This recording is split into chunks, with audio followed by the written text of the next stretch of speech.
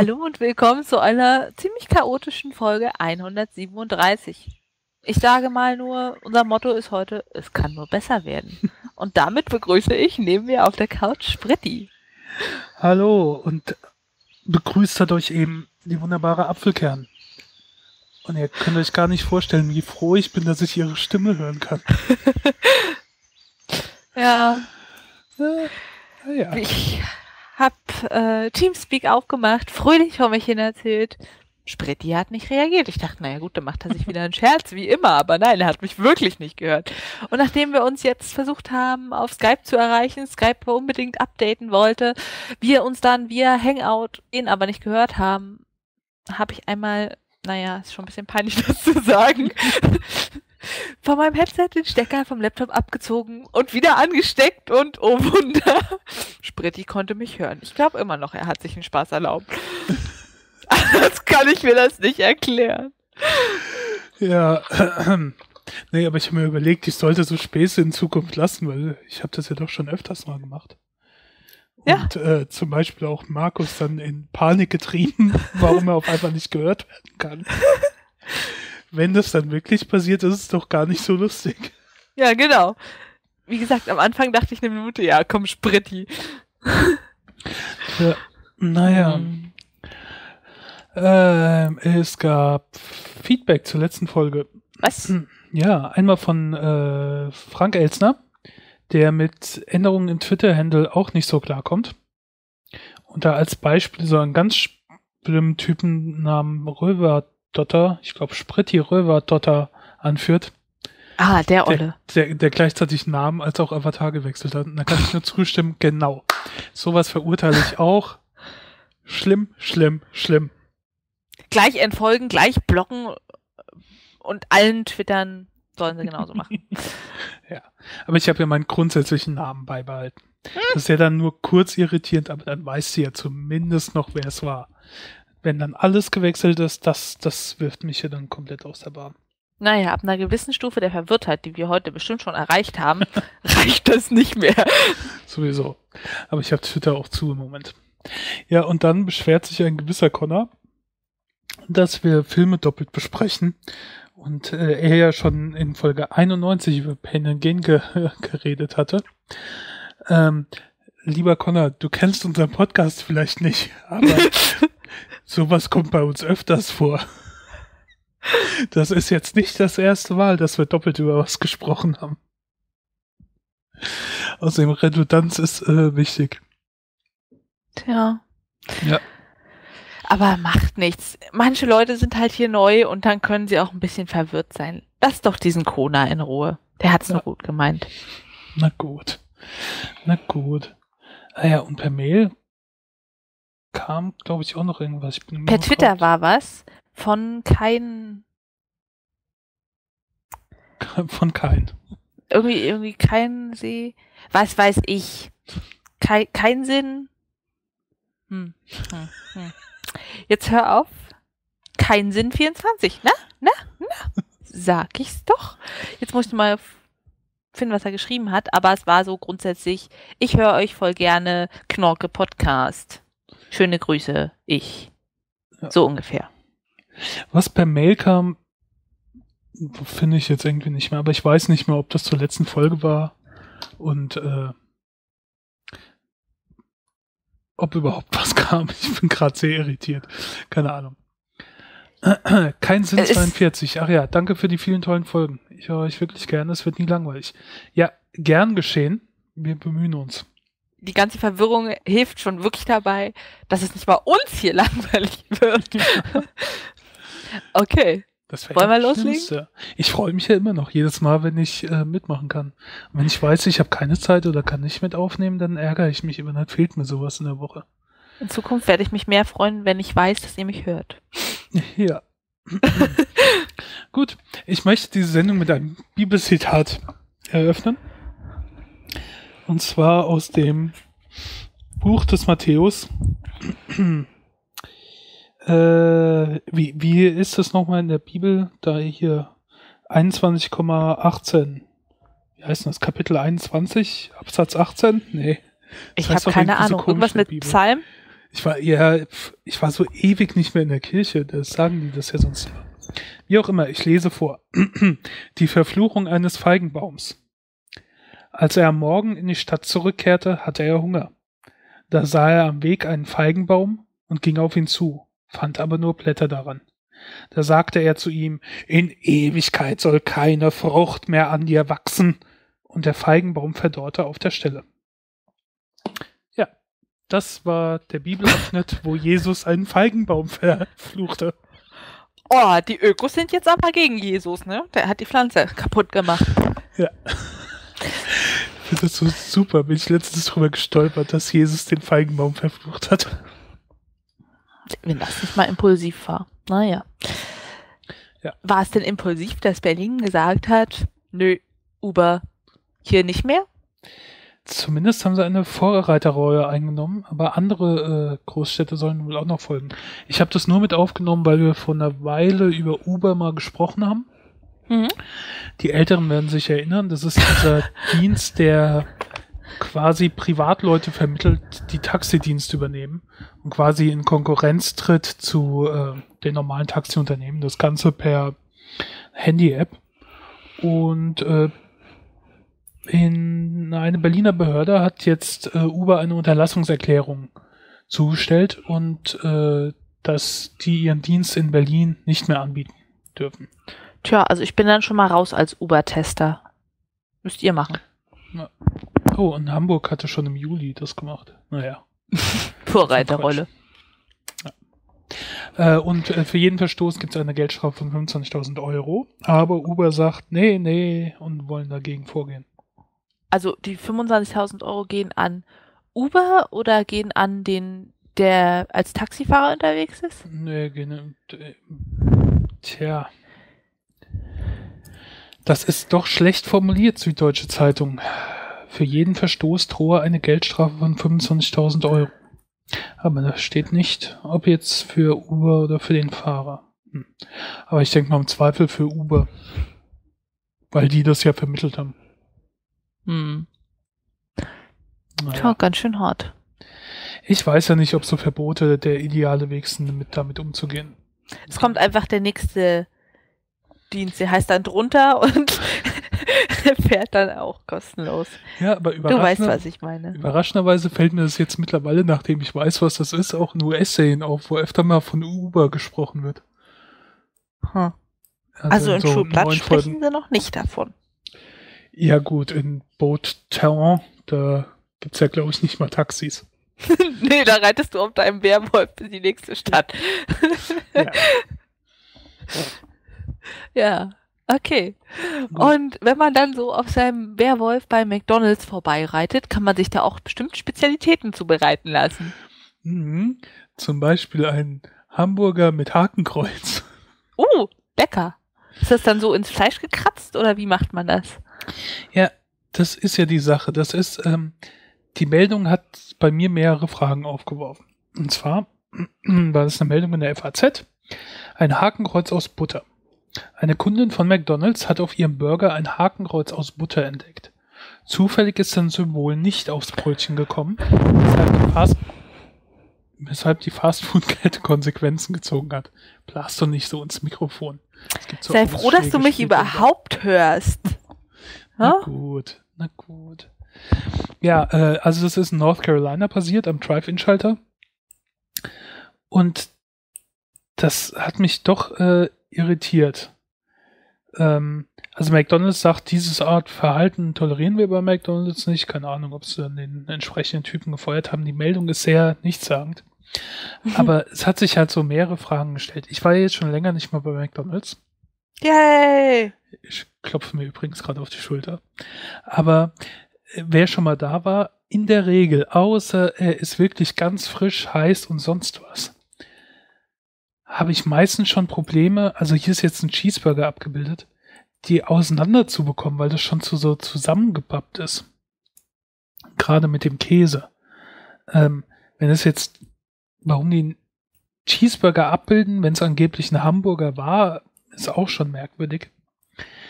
Aber dann frage ich mich, wie erkennst du denn de, mit, mit der Butter drin? Also normalerweise ist da ja keine Butter drauf. Ich, wollte schon sagen, ist da überhaupt Butter drin? Wusste ich ja gar da, nicht. Da ist doch eigentlich Fleisch, Ketchup, Senf, diese komischen Gurken und Zwiebeln. Und das war's. Aber auf dem Brötchen selbst ist ja nichts. Das wird nur irgendwie äh, getoastet. Mhm. Also machen die dann vorher, hat sich da extra jemand hingestellt und mit Mühe so ein, mit Butter ein Hakenkreuz drauf geschmiert und dann muss das ja irgendwie auffällig sein, dass man das sieht, weil die Butter zieht ja normalerweise, wenn das Brötchen warm ist, zieht die ja ein und verschwindet da drin. Das klingt eher so, als hätte man das gebuttert, warum auch immer man die Dinger buttert. Äh, das warme Brötchen raufgepackt und dann ist es irgendwie so geschmolzen, dass es vielleicht wie ein Hakenkreuz aussieht. Aber das ist doch auch schon super unwahrscheinlich, weil in der Mitte des Brötchens ist doch der wärmste Teil, nämlich das Hack. Weißt du, der Hackfladen. Ja. Und das sollte eigentlich Patty, mittig weg. Das Fleischpatty. Hackfladen. das müsste doch dann mittig wegschmelzen. Also ich weiß nicht, das klingt ein bisschen abenteuerlich. Da kann ich mir eher noch vorstellen, dass ein Jesusgesicht in den Toast gebrannt wird beim Toasten. Ja. Was ja nichts mehr so Besonderes ist, was wir in der vorletzten Folge, glaube ich, ja besprochen hatten. Ja. Ähm, ja, also ich kapiere es auch nicht.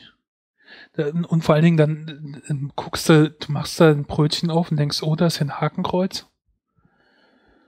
Und dann, und dann äh, ist das ein Witz? Glaubt jemand wirklich, dass das lustig ist? sagte Charlie Mattis, deren Großvater im Zweiten Weltkrieg im Pazifik gekämpft hatte. Hm. Das ja. wussten die natürlich und deshalb haben sie extra für sie das Hakenkreuz reingeschmiert. Also es klingt ein bisschen abenteuerlich. Und seit wann sind auf diesen Hamburgern Butter? Ich habe da keine Ahnung. Ich habe ja. erst einmal eingegessen und das ist schon Jahre her. Aus Not. Nicht freiwillig. aus Not. Da hat nichts anderes mehr aufgehabt. Klassenfahrt, es gab nichts. Naja. Hungern oder sowas ekliges. Also sowas ekliges. Tja. Ich bin ja auch so froh, dass ich da nicht mehr hingehe. Das sieht alles nicht lecker aus. Ich habe äh, nach der Buchmesse auf der Rückfahrt Chicken McNuggets gegessen zum ersten Mal. Das war so widerlich. Das war ja kein Fleisch. Das war irgendwie püriert, geklebt, paniert, frittiert. Ja, auch wenn man seinen Geschmack so ein bisschen umtrainiert hat und anders äh, sich ernährt und dann das allein nur sieht. Also ich weiß nicht, aber ich habe da überhaupt keine Lust drauf, das zu essen. Hm. Ja, schön. Naja. Wie auch immer. Dann kriegst du auch kein Hakenkreuz serviert. Hast du Glück, Spritti. Genau. Ähm, tja, hat man unbedingt Glück, wenn man super schlau ist? Nicht unbedingt. Was würde Lucy dazu sagen? Wir haben beide einen Film gesehen. Und zwar ja. äh, das, äh, das neue Meisterwerk von Luc Besson. Den, ich, ich mag den ja. Das ist ja, keine Ahnung, das war so einer der ersten Regisseure, die ich namentlich gekannt hatte. Ich find, fand das fünfte Element großartig und so weiter und so fort. Und ich glaube, die Transporter-Reihe hat er auch gemacht. Aha. Äh, Unleashed, Taxi. Also er hat schon ein paar gute Filme so mitgemacht. Und jetzt halt auch Lucy mit äh, Scarlett Johansson. Willst du oder soll ich erzählen, worum es geht? Also ich kann ja mal anfangen und du verbesserst mich, ne? Du okay. kennst dich ja mehr aus mit Filmen. Also Hauptperson des Films ist auch die Namensgeberin des Films, Lucy, gespielt von Scarlett Johansson spielt es gut, aber lockt einen natürlich auch in die Kinos, allein wegen des Namens, oder? Ja. Finde ich schon. Sie ist eine Touristin, Studentin. Ich finde, das wird nicht so ganz klar am Anfang und das, ist in Asien. scheint mir so ein bisschen wie so eine Backpackerin, die in, für eine Weile in Asien unterwegs ist wohl. Also sie sagt oder auf jeden Fall, sie hat Prüfungen in der nächsten Woche, also ist sie auch irgendwie noch Studentin oder was. Ja. Jedenfalls ist sie in Asien, in Urlaub, im Urlaub und denkt sich nichts Böses, als sie unvermittelt in Drogengeschäfte hineingerät. Sie wird unfreiwillig Transporteurin von einer neuartigen Droge, schön blau, kristallin in Päckchen. Es wird ihr einfach in den unteren Bauchraum einoperiert. Sie wacht auf, hat ihre blutige Wunde und ihr wird gesagt, okay, hier ist dein Flugticket, bringen es ans Ziel. Die Kinder werden sich aber freuen über den Stoff. Ja. Und während sie noch gefangen gehalten wird, um auf den Flug zu warten, kommt der Wärter vorbei, denkt sich natürlich, oh, Scarlett, kleines süßes Schnitzelchen, will sich an sie heranmachen. Sie wehrt sich und endet damit, dass der Typ sie zusammentritt. Und dabei bekommt sie auch Tritte in den Bauchraum und dabei öffnet sich eins der Drogenpäckchen. Und die Droge wird freigesetzt und verändert sie in gewisser Weise. Und von dem Moment an, äh, Moment, ich muss mal husten, ich mache mir kurz auf lautlos. Von dem Moment an äh, ist die Droge in ihrem Körper aktiv und was die Droge dann auslöst, ist äh, eine Steigerung der Gehirnkapazität, weil der Film geht von der Prämisse aus, dass wir nur einen ganz geringen Teil unserer Fähigkeiten im Gehirn nutzen und im Laufe des Films, nachdem diese Droge in ihrem Körper losgelöst wurde, steigert sich ihre Gehirnkapazität, was man auch immer so mit Prozenten angezeigt bekommt. Also jetzt so bei 20, jetzt bei 30, 40 und so weiter. Genau. Und mit den steigenden Prozenten wird sie nicht nur schlauer auf reiner Wissensebene, kann sich an Dinge aus frühester Kindheit erinnern, an die sie sich eigentlich nicht erinnern können sollte, sondern sie empfindet zum Beispiel auch gar keinen Schmerz mehr Sie kann plötzlich Dinge per Telekinese, nennt man das so, ohne sie zu berühren, mhm. bewegen, ein paar Fieslinge aus dem Weg schleudern.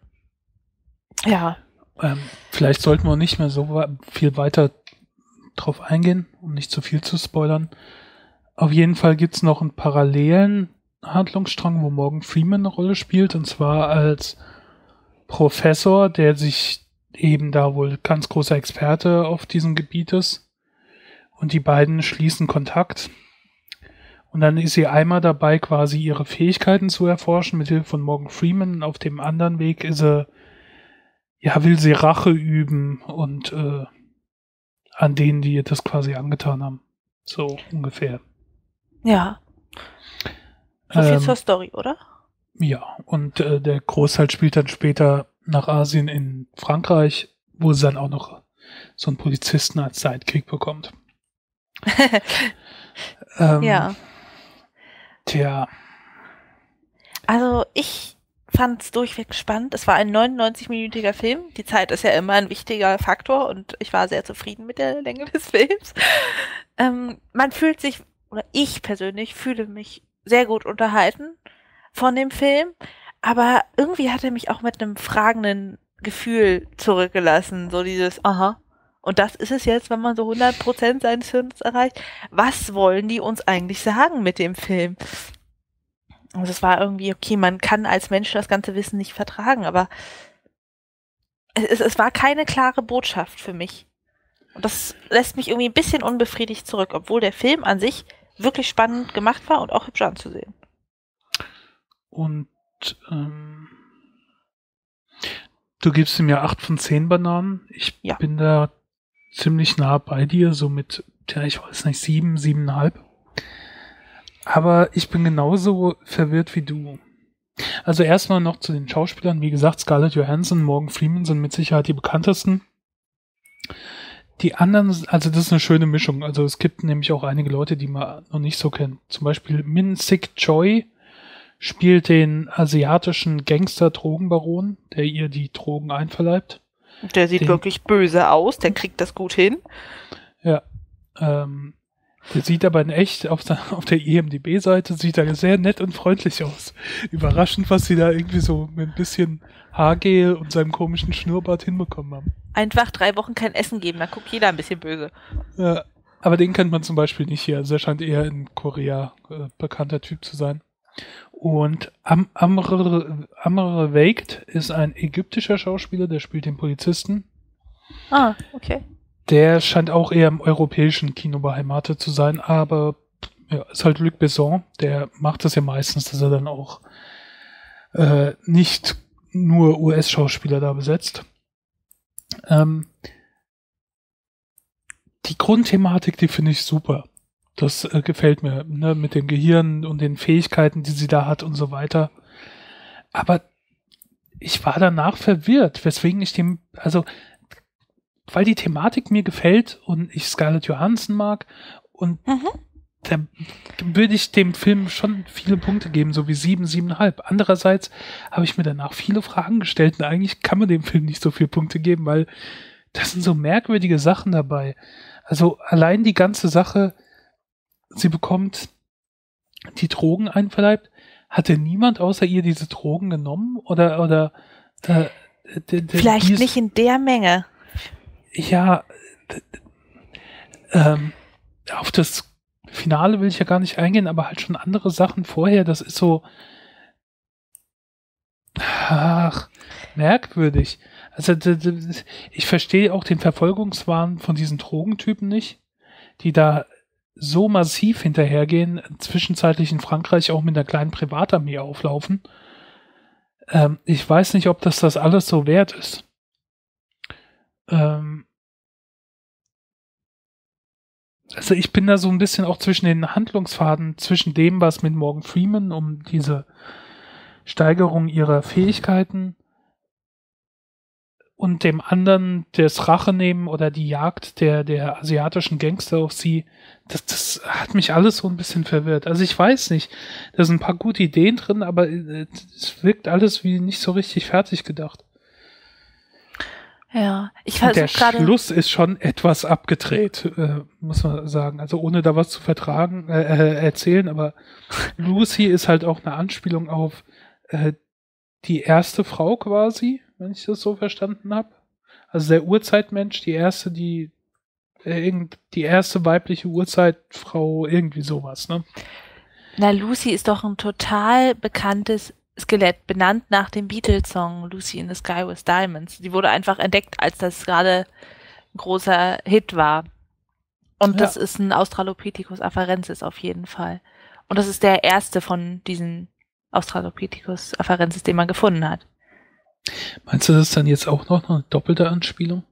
Na, die Lucy, die Scarlett Johansson spielt, heißt auf jeden Fall wegen des Skeletts so.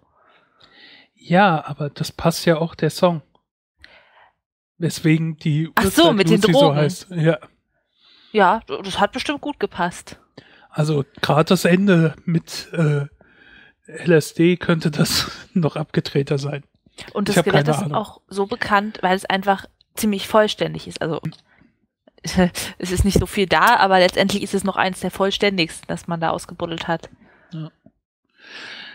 Äh, also ich finde, man kann sich den Film anschauen, aber er ist so ein bisschen unkonventionell und er lässt einen ja nicht verwirrt zurück, aber man fragt sich danach so so Logiklöcher und so Sachen, wo man denkt, warum ist das da in dem Film passiert? Warum haben sie das gemacht? Warum? Ja, keine Ahnung. Ich weiß auch nicht. Ähm, ein Film, der mit der Thematik auch spielt, wo ich halt als erstes direkt dran denken musste, ist äh, Ohne Limit, im Original Limitless, von Neil Burger mit äh, Robert De Niro und Bradley Cooper von 2011. Den mag ich eigentlich auch ganz gern. Eigentlich noch eine Spur lieber. Da geht es auch darum, dass äh, Bradley Cooper so ein durch ja nicht erfolgreicher Autor irgendwann so Drogen zugesteckt werden und die steigern dann die Hirnkapazität und auf einmal schreibt er dann wie verrückt in einer Nacht äh, alles Mögliche, kann verschiedene Sprachen, äh, kann in die Zukunft so ein bisschen sehen und lauter so Sachen. Mhm. Äh, das, da finde ich die Thematik ein bisschen besser umgesetzt.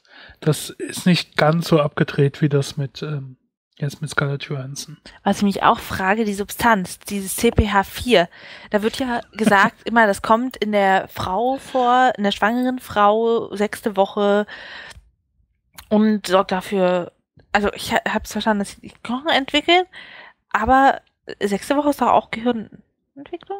Mhm.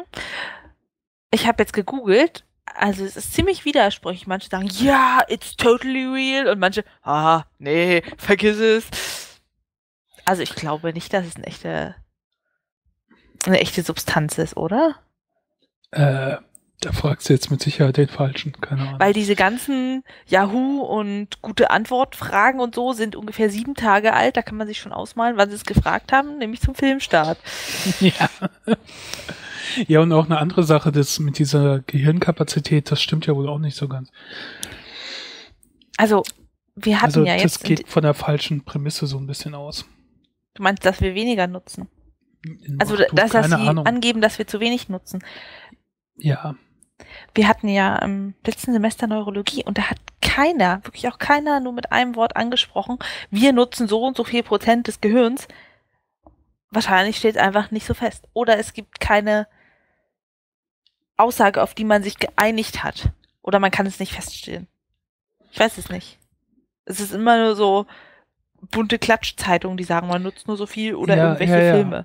das äh, wirkt so ein bisschen wie so eine Urban Legend, die dann so die Runde macht und jeder glaubt das halt mittlerweile, aber äh, also ich, äh, ich meine nämlich gehört zu haben, dass dem gar nicht so ist, aber ich kenne mich da auch zu wenig aus und ich habe das auch ehrlich gesagt nicht recherchiert, aber äh, ich würde das mal nicht so auf Anhieb dann glauben. Aber wie auch immer, der Film ist unterhaltsam, wenn man die Prämisse halt akzeptiert. Liebe Freunde von Huxilla, wie viel Prozent des Gehirns nutzen wir eigentlich? Mit freundlichen Grüßen, die Brüllaffen. Danke. Okay, man kann es auch leicht machen, ja. Ähm, Also, der Film ist super unterhaltsam. Scarlett Johansson spielt es gut. Ich finde, in dem Film stand ihr Braun echt besser. Dieses Gelb-Blond ist nicht meins, aber okay. Ähm, ja, es macht Spaß, es anzugucken. Die Effekte sind schön. also, Wissenschaftlich ist es irgendwie manchmal ein bisschen durcheinander mit dieser Droge und dass es so schnell so viel bewirkt und vielleicht in dieser Zeit, wo diese natürlich vorkommt, laut Film, die Substanz formt sich das Gehirn und dann verknüpft es sich bei ihr so schnell neu. Hm, Ich weiß nicht, irgendwie hinkt es. Ja. Aber es ist schön anzusehen. Man muss nur mit der Verwirrung danach klarkommen. Hm. Ich hatte übrigens durch zwei Sachen motiviert, weil du ja das letzte Mal einen Michael Bay-Film gesehen hast. Und äh, dann ich jetzt den Film mit Scarlett Johansson, hatte ich irgendwie Lust auf einen Michael Bay-Film mit Scarlett Johansson und habe noch nebenbei äh, The Island mal geguckt. Den Film mag ich auch sehr gerne. ist es das, wo sie alle in einer Kolonie gehalten werden und irgendwie Organspender Als, oder so ja, sind als und dann Ersatz, fliehen? als Ersatzteillager, genau. Den habe ich gesehen. Oh. Ja, den, also ich mag den so. Der, der gefällt mir auch. Also ich will da jetzt nicht länger drüber reden. Ich will nur sagen, habe ich gesehen mit Ewan McGregor, das ist von 2005. Und ich finde verhältnismäßig gut bis jetzt gealtert. Also ganz so absurd ist es nicht. Ah, der Film. Ich dachte jetzt an Ewan McGregor. Scarlett Johansson ist auch äh, gut gealtert. Also ich habe da keinen großartigen Unterschied jetzt zu Lucy festgestellt. nee. Ich habe nur ein Bild letztens von ihr in der Klatschzeitung gesehen, weiß ich nicht, was sie geschrieben hat. Habe ich gesehen, sie hat so ein Tattoo am Unterarm. Da denke ich mir, nein, wenn du schon so gut aussiehst, warum machst du dir denn noch so eine Scheiße? Aber ich glaube, das habe ich schon mal letzte Folge gesagt. Bin ich einfach nur noch nicht drüber hinweg, weißt du? Gut, So hellblau. Oh. ja. das war's dann mit Film. Was hast du vor dir als nächstes zu gucken? Äh, True Blood, Staffel 7, Folge 5. Da bist du ja schon, ich glaube, ein, nee, bist gar nicht weiter als ich. Ja, ich muss bis 6 kommen, dann bin ich weiter. Oder, oder bis 7, dann bin ich weiter. Ja, Mit ja. 6 bin ich gleich auf. Ja, finde ich bis jetzt ganz spannend. Keine Ahnung, es hat mich früher mal mehr gepackt, ehrlich gesagt.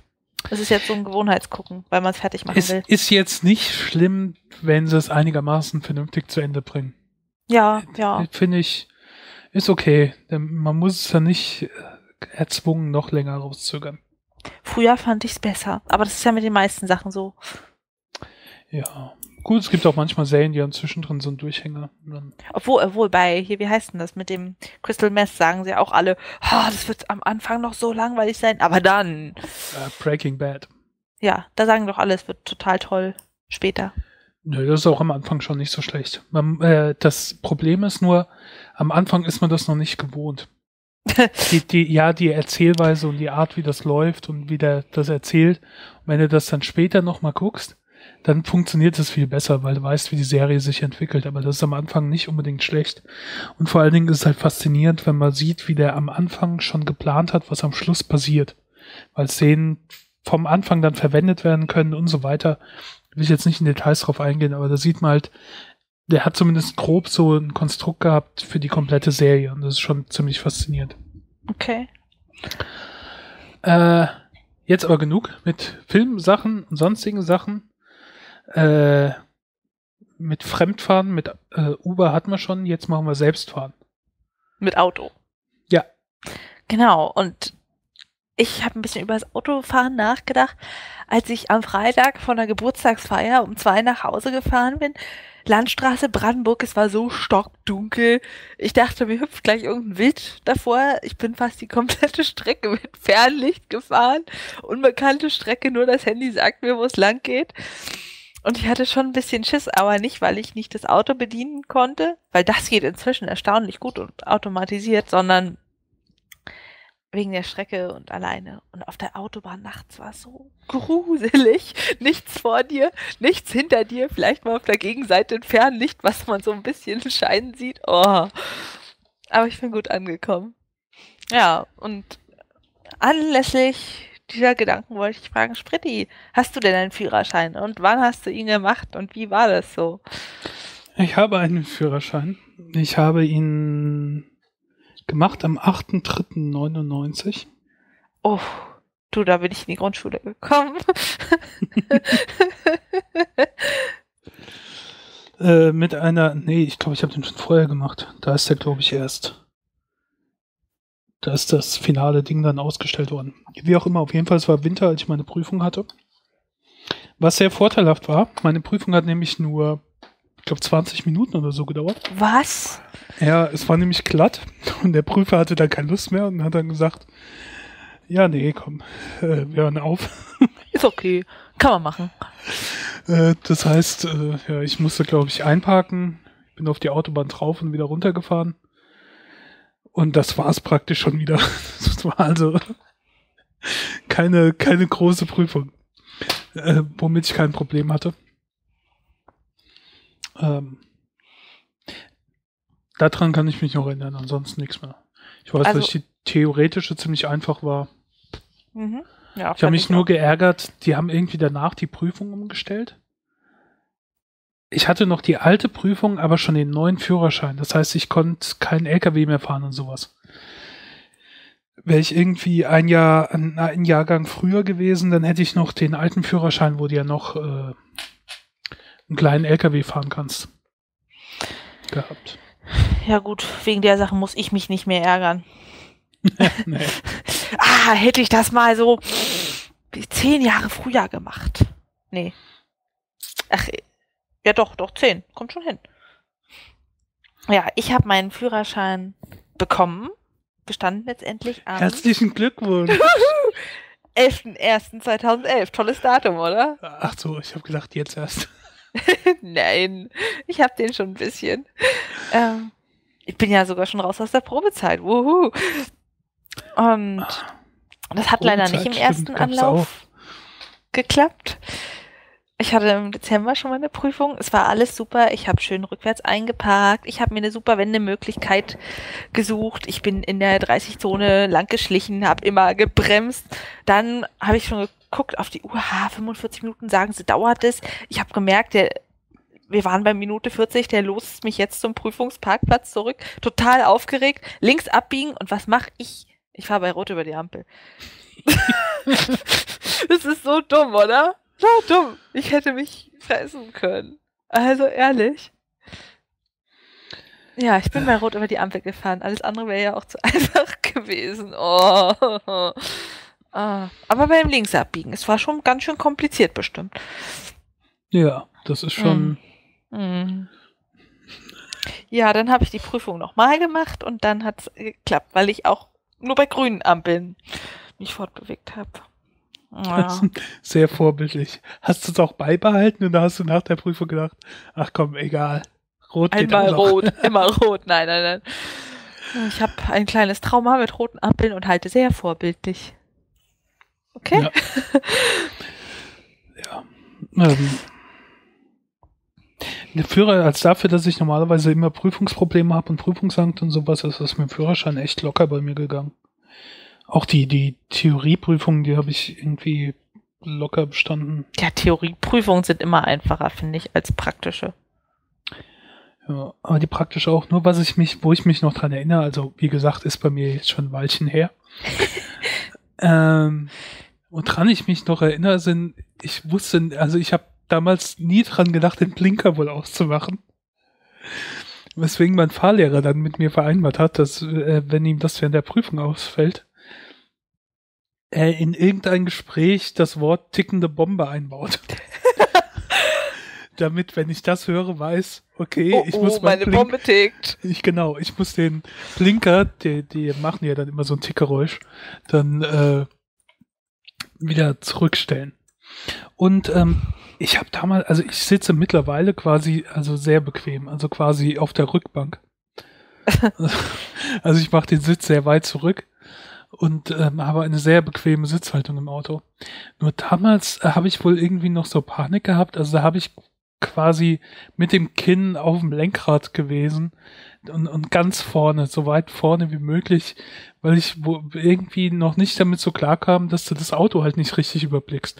Und ich gedacht habe, je weiter ich vorne ich bin und oben ich bin, und da sehe ich halt, wo vorne das Auto aufhört. Und das ist dann einfacher beim Einparken und so Sachen. Mhm. Mein Fahrlehrer dann auch vor der Prüfung gemeint hat, so kannst du doch nicht sitzen im Auto, das geht doch nicht. Nicht so, doch, das muss ich so machen. Also Danach habe ich es überraschend schnell aufgegeben. so ganz angespannt sitzen ist nicht toll, aber so ganz lümmelig ist auch nicht die Lösung, finde ich. Ich habe eine Freundin, die hat äh, ADAC-Fahrsicherheitstraining gemacht und die meinte, das erste, was sie gemacht haben, ist ihren Sitz erstmal hochgeklappt und ein bisschen nach vorne gezogen, weil, wenn man so lümmelt, dann ist die Reaktionszeit schlechter und man ist nicht so konzentriert.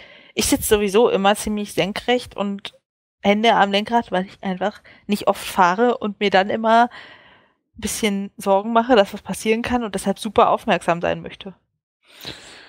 Ja, ne. also ich halte mich für einen ziemlich guten Fahrer. Fährst du oft? Ja, also im Moment jetzt nicht mehr so oft, aber früher schon halt. Allein schon täglich dann zur Arbeit und zurück und ich bin auch öfters zwischen Hamm und Mainz gependelt mit dem Auto, also auch Autobahnstrecke. Ja. Äh, ich fahre nicht gerne, also vor allen Dingen Nee? lange Strecken nicht. Also es gibt ja Leute, die fahren gerne Autos, aber mir geht das auf die Nerven, so lange auf der Autobahn zu sein irgendwie. Mir hat das schon gereicht, von Mainz nach Hamm, wenn man schnell durchkommt, braucht man, sagen wir mal, zwischen zweieinhalb und drei Stunden. Und das ging mir schon auf die Nerven. Das, das war mir schon, das, das ist dann so langweilig. Wenn die Ah, Strecke wenn man auch immer alleine wieder ist. kennst, ja, wenn man alleine ist, wenn man die Strecke immer wieder kennt und äh, wenn ich dann überlege, ich müsste ständig für so lange Strecken fahren. Und wenn du dir Musik reinmachst, irgendwie deine Autobahnmusik zum Mitsingen? Nee, na, habe ich ja schon immer, aber trotzdem, das ist so. Äh, ich, nee. Mein weiß nicht. absolutes Autobahnalbum ist übrigens System of a Down Mesmerize. Früher war es immer Knockator für die Autobahn, aber System of a Down hat sich durchgesetzt. Ich weiß nicht. Da kann ich alles mitsingen und kann die eigentlich Dauer hören. Andere nervt es, aber ich mag's. Ja, ja. irgendwas, wo ich mitrommeln kann, ist nicht schlecht auf dem Lenkrad. Und wenn es so dunkel ist und du alleine bist, ist es auch ganz nett, finde ich. Ja. Ich fahre ich fahr ungern, wenn es dunkel ist. Und wenn es dunkel und nass ist. Ich hasse Dunkelheit und ich bin- unbekannte Strecken in Kombination. Ja, also ich bin nicht nachtblind, aber ähm, ich fahre da einfach ungern. Irgendwie gerade so, also ich meine, ich wohne ja in einer zivilisierten Gegend. Aber wenn ich dann mal, aber wenn ich dann- lehnen sich aus dem Fenster. aber wenn ich dann mal ab und zu aufs Land rausgurke und dann Landstraße fahren und es ist nachts und dunkel und äh, das fahre ich echt ungern. Ah, verstehe. Unbekannte Strecken nachts mag ich nicht. Und ich war jetzt auch schon mal beim Starkregen auf der Autobahn und es war auch nicht so super, alle super langsam gefahren. Ich dachte nur, Aquaplaning, Aquaplaning, ganz vorsichtig, nicht bremsen. War nicht so toll, aber irgendwie habe ich es überlebt und irgendwie ist es auch gut, dass man die Erfahrung gemacht hat.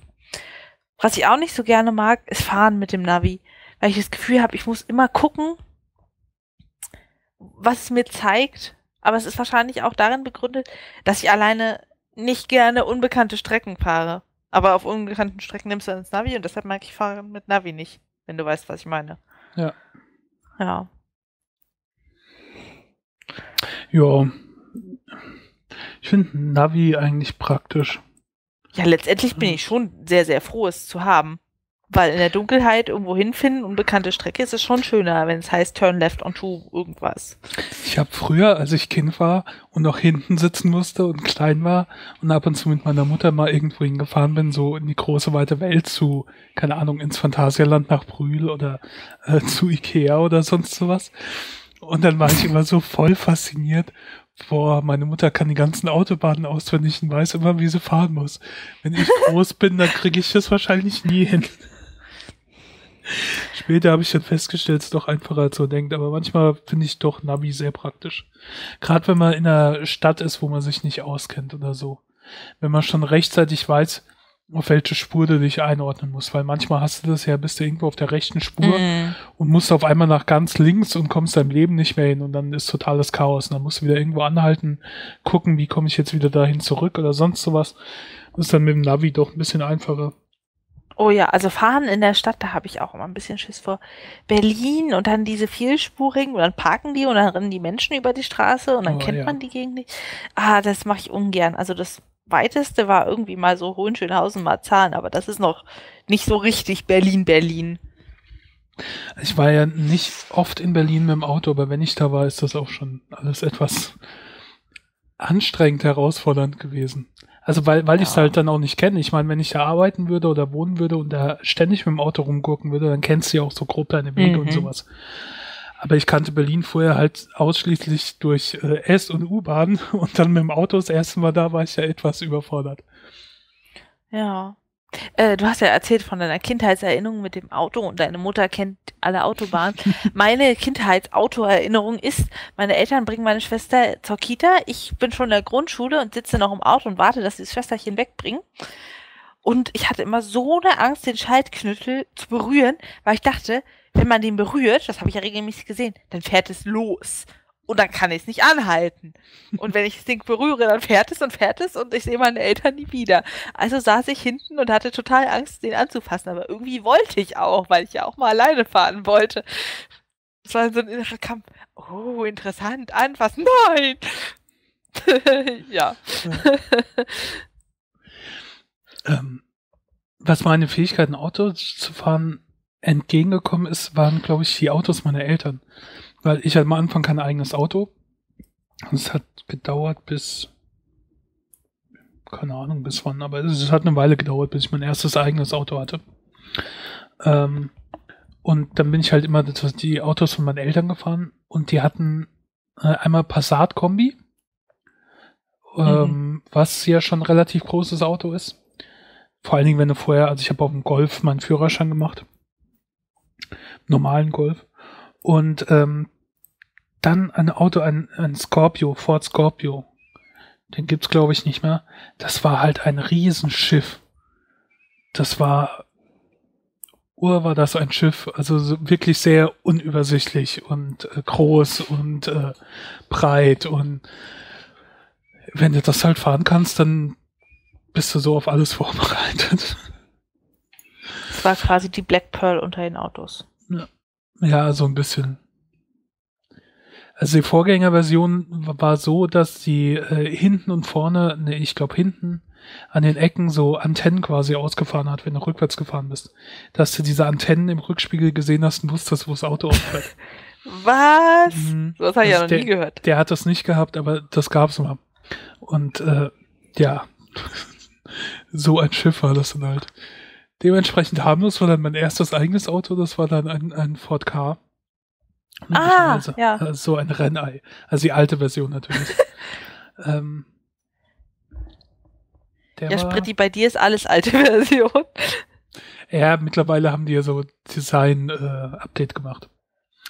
Aha. Ähm, aha. mein zweites Auto war dann äh, auch ein Ford K. Mit Update. Nein, nein. Wie der erste. Der erste war in lila, der zweite war in türkis. Den ersten, Oh, Also hast du aber Frauenautos, scharfe Teile. ja, Konntest du damit besser die Frauen abschleppen? So orange und türkises Auto. Äh, nicht die Frauen, ma maximal eine Frau. Ansonsten wäre es ein bisschen eng geworden im Auto. Ich meine, der so, Ka Bettina, du kommst in den Kofferraum. Ach nee, der ist zu klein. Sorry. obwohl der Kofferraum, wenn man die Rückbank umgelegt hat, war erstaunlich groß. Aber ähm, ich weiß nicht, das war das optimale Auto, um halt anzufangen. Zumal ich am Anfang halt höchstens in Mainz halt unterwegs war oder kurze Autobahnstrecken, beziehungsweise dann nach bis Frankfurt gefahren bin und es ging. Das Auto konnte halt maximal 150 fahren.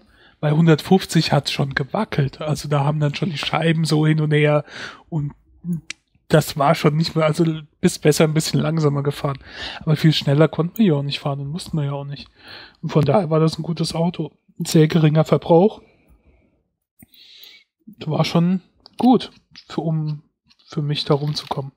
War halt nicht so das schöne Auto, um irgendwo vorzufahren und mit anzugeben, aber Gott. Aber wenn es türkis ist oder lila, Hallöchen. Ja, ja. Und dann haben halt meine Eltern ein neues Auto gekauft und da war das gerade mit dieser Abschrottprämie oder wie hieß die? Schrott Abwrack. Abwrackprämie, Abwrack. genau. Und da wurde dann halt mein schöner Ford K geopfert. Hm. Und dann habe ich mir wieder einen gebrauchten Ford K gekauft in Türkis. Mit Klimaanlage, die aber nicht funktioniert hat. Also Deko-Klimaanlage. Mhm. Ja. Ach, das war ein nettes Auto. Gerade für Fahr Fahranfänger. Und noch eine Frage. Was war denn die weiteste Strecke, die du gefahren bist? Ich weiß es nicht.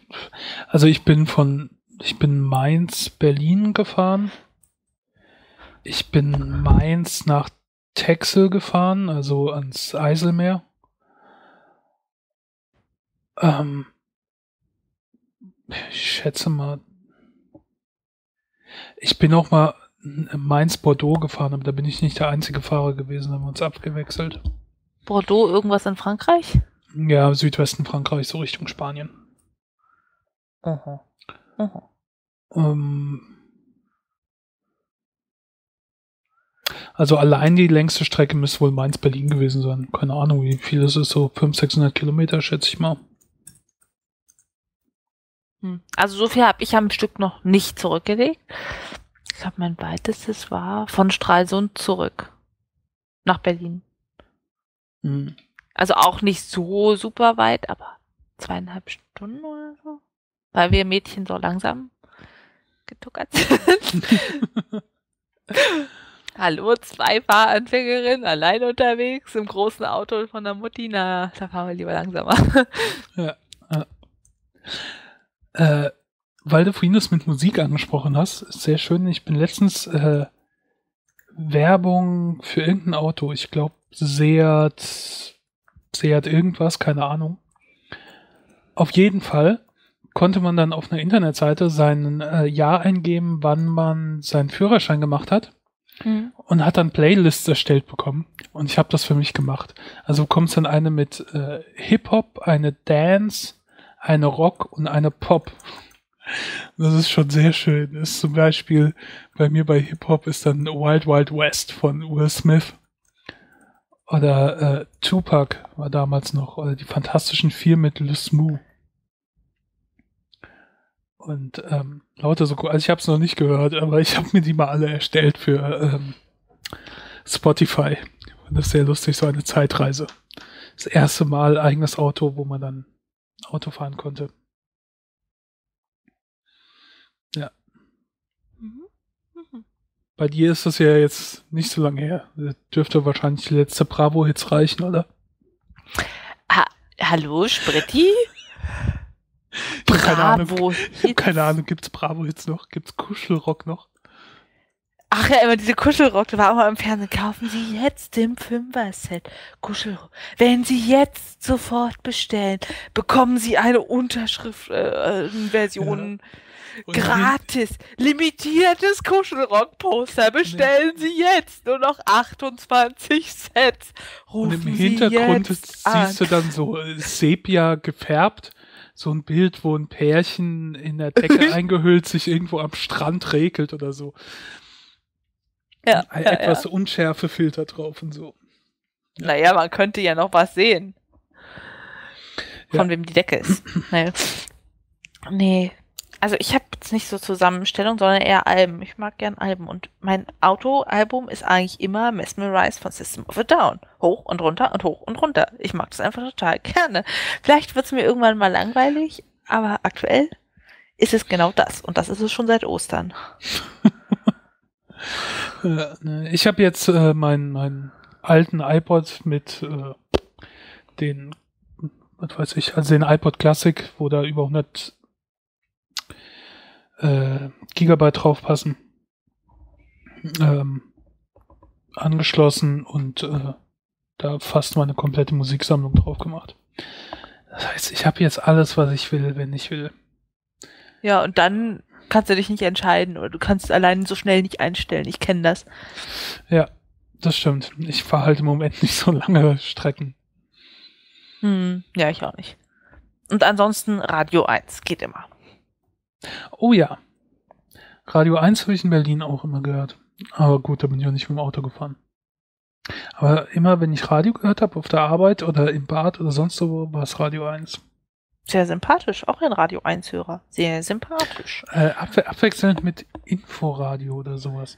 Auf jeden Fall Ah. dieser Radiosender in Berlin, der alle Viertelstunde Radio Nachrichten macht. Das finde ich ein bisschen nervig. Das aber, Das so. aber das habe ich schon öfters erwähnt. Das mache ich, wenn ich längere Strecken fahre, gucke ich auch immer, ob ich irgendwo Deutschlandfunk oder Deutschlandradio oder diese HR-Info, WDR-Info oder sowas bekomme. Also diese, wo geredet wird. Hm, damit du Nicht. dich nicht so alleine fühlst. Ja, manchmal hört man da interessante Sachen, die ich sonst halt nicht hören würde. Ich mag das aber auch, wenn ich aufräume, irgendwelche YouTube-Typen anzuschalten, die dann irgendwas erzählen, ist mir Schnuppe. Ja. Und wie sie ihre Katzen aufziehen, irgendwas. Und ich Also- räume dann einfach dazu auf, so wie es so ist, in Korea zu leben. Meinetwegen, erzählt mir mal. Ich räume Ja. jetzt auf. Nö, nee, ich finde das auch gerade beim längeren Autofahren, wenn ich halt keine Lust auf Musik habe, finde ich das so nette Unterhaltung, weil sonst würde ich das ja nie machen. Aber so kannst du es halt laufen lassen und dir irgendwas erzählen lassen oder irgend so. Ich habe nämlich da auch festgestellt, dass so Diskussionsrunden im Radio viel spannender und interessanter sind als so Fernsehrunden. Fernsehrunden, Deshalb also, sind doch Podcasts so toll. ja, ja. Die höre ich natürlich auch gerade so auf längeren Strecken, wenn sie mal anstehen. Ja, gut. Genug vom Autofahren, oder? Gibt's noch was? Ja, das Auto ist abgefahren. Next. Ihr könnt ja mal uns erzählen, was ihr so gerne hört, wenn ihr Auto fahrt. Radio oder habt ihr ein spezielles Album wie Apfelkern? Oder äh, wie zum Beispiel äh, How I Met Your Mother, hast du das gesehen? Nee. Ma- Marshall, Marshall hat äh, ein Auto und da äh, hatte eine Kassette drin, die er irgendwie mal als äh, kurz nachdem er das Auto bekommen hat, reingetan hat und die funktioniert, also es kann nichts anderes mehr spielen. Die Kassette geht nicht mehr raus und da geht nur noch ein Lied und das ist äh, äh, 500 Miles. Ne? Also dieses Oh, das ist gut, I das mag ich. walk 500 Miles. And Ja. I would walk 500 Und dann gibt's halt auch, äh. Okay. so Folgen mit einem Roadtrip quer durch Amerika, wo halt nur dieses Lied läuft. Aber er hatte doch Glück gehabt. Eine nette Wahl. Ja, ich mag den Song auch sehr gerne. Also wie auch immer, gebt uns mal Feedback, was ihr so hört, ob ihr was hört. Oder ob ihr verrückte Autostories habt. Wie, keine Ahnung, dass der euer Prüfer bei der Führerscheinprüfung in Panik aus dem Auto gerannt ist oder so. Und gesagt hat, hier, sie haben bestanden, aber fahren, nehmen sie mich nie mehr mit. Kann ja auch geben. Gut. Ja. Äh, was meinst du denn mit Sprachaufnahmen versenden statt tippen? Ist das jetzt ein Trend? Also ich Vermutlich, letzt- weil ich bekomme ja Trends nie mit und ich habe keine Ahnung, was du da meinst. Von daher ist die Wahrscheinlichkeit groß, dass es ein Trend ist. Also ich habe letztens mitbekommen, vom Edeka stand ein junges Mädchen, redet ins Telefon, äh, irgendwas mit ihrer Freundin und Nachmittagstreffen, bla bla, man kann es ja prima belauschen, schickt senden, plötzlich kommt aus dem Telefon eine andere Stimme und die antwortet auf das, was sie eben erzählt hat. Also ich nehme mal an, es ist die Freundin, die wieder zurückgeantwortet hat. Hab mich schon gewundert, ist es nicht blöd, da hören doch alle mit, das nervt ja die ganzen Mitmenschen, was soll denn sein, wenn alle das machen? Dann kam ich nach Hause, meine Schwester macht exakt das auch. Ich wundere mich immer, wer redet denn darüber? Sie nimmt ihrer Freundin eine Sprachnachricht auf, redet also, bekommt eine Nachricht zurück, muss sie sich anhören. Oh, so nervig, so nervig. Äh, äh, warum haben die nicht einfach miteinander telefoniert? Ja, das ist wie telefonieren, nur zeitversetzt. Ich weiß auch nicht. Also das finde ich ja unpraktisch, weil der Vorteil ja von äh, SMS oder modernen Varianten wie WhatsApp, Tramer, keine Ahnung, was es da noch gibt. Streamer, Hangouts. So Zeug ähm, ist ja eigentlich, dass du das überall lesen kannst und halt auch, wenn du unterwegs bist oder sonst sowas und mir wird es ja auf die Nerven gehen, wenn ich da was abhören müsste und andere das mithören oder sonst irgendwie. Und ähm, dann kann man ja auch einfach telefonieren. Also. Hm. Ja, ich weiß auch nicht, man kann irgendwie nicht telefonieren. Ich finde, telefonieren kostet ja auch was und das Aufnehmen nicht. Aber warum können sie dann sich nicht einfach ganz normal schreiben? Meine Schwester sagt, das dauert doch viel länger und ist total viel unpraktischer. Aber du musst dir ja auch die volle Zeit anhören, wenn jemand das erzählt. Und du kannst nicht nochmal schnell irgendwas nachlesen, sondern musst dir dann die ganze Sache anhören. Also ich weiß ja, nicht. Äh, hm. Ich finde es super nervig und verstehe es nicht und also im Prinzip ist es ja so, als hättest du deine eigenen Anrufbeantworter und äh, du sprichst dann jeweils dem anderen da eine Nachricht drauf. So vom Grundprinzip ja. her. Also ich habe keine Ahnung, ich habe noch niemand gesehen, wo das so passiert ist. Mir ist da auch noch nichts untergekommen, aber wie gesagt, das muss bei mir ja nichts heißen. Wann bist du das letzte Mal rausgegangen, Spritti? nee, also ich habe noch niemand gesehen, der sowas gemacht hat. Aber, äh, ich nutze ja auch kein WhatsApp oder sowas mehr. Ich, hm. ich schreibe SMS nur noch mit meinen Eltern. Ja. Na, also ich fand es schrecklich, nervig. Ich würde es auch selbst nicht machen wollen. Es ist bestimmt ganz nett, die Stimme zu hören, so bei Fernbeziehungen, kann ich mir vorstellen. Aber ansonsten, nein. Ja, das müssen ja auch nicht alle mithören. Aber der telefonierst du ja auch. Also, der, wie gesagt, also ich kapiere es nicht. Ich habe keine Ahnung. Aber wir könnten das mal weiter beobachten. Okay. Und äh, unsere Hörer vielleicht auch, vielleicht ist denen ja sowas untergekommen und vielleicht nutzt das auch irgendjemand und kann sozusagen sagen, warum das so praktisch ist. Ich, ja, okay, du sparst Zeit, aber ich finde es trotzdem alles ein bisschen umständlich. Ich finde nicht, dass man Zeit spart, weil wenn man sich nochmal was anhören will, von wegen, äh, wie war nochmal die Straße, in, in der wir uns treffen, oder die Hausnummer, musst du dir die ganze Scheiße ja nochmal anhören. Und wenn die Aufnahme drei Minuten lang ist, dann musst du dir halt drei Minuten anhören. Außer du stoppst, nachdem du es bei eineinhalb Minuten deine Information gekriegt hast, aber trotzdem. Nee. Ja. Gut. Äh, kommen wir äh, vielleicht mal zum Ort der Woche. Der Ort der Woche ist ein Loch. Na super, wieder mal in der Versenkung verschwunden, das Ding. Ja, und zwar im äh, Salt Lake County, südwestlich von Salt Lake City in Utah in den USA, in den Ocquire Mountains. Du hast da was im Mund, Spritti. ja, ich weiß. also es schreibt sich O-Q-U-I-R-R-H. Oquire, Oquire Mountains. In diesen Bergen da in Utah.